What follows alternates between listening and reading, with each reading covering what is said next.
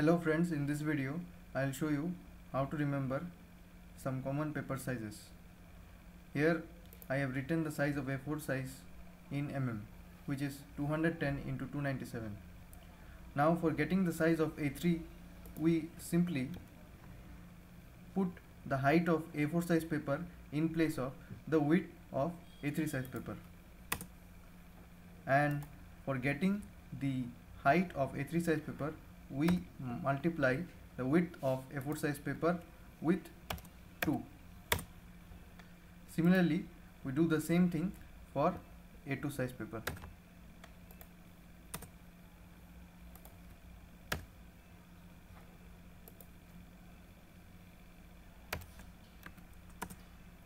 Now for A1 size paper for getting the width I cop I just simply put in place of width the height of A4 size sorry A2 size paper. And for getting the height of A1 size paper I multiply the width of A2 size paper with 2 and add 1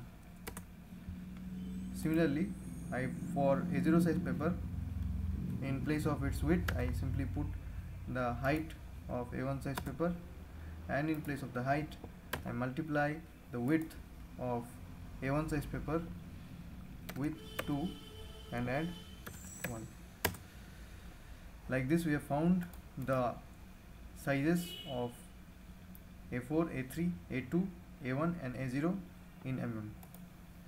Please like the video and subscribe to our channel. Thank you.